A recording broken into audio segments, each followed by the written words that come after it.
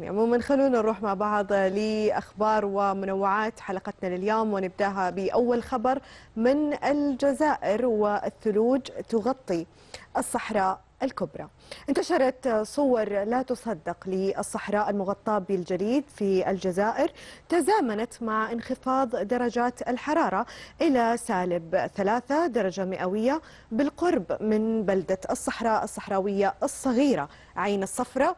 وشوهدت الخراف والجمال تقف على الكثبان الرملية الثلجية. في مشهد غير متوقع أن يحدث في الصحراء.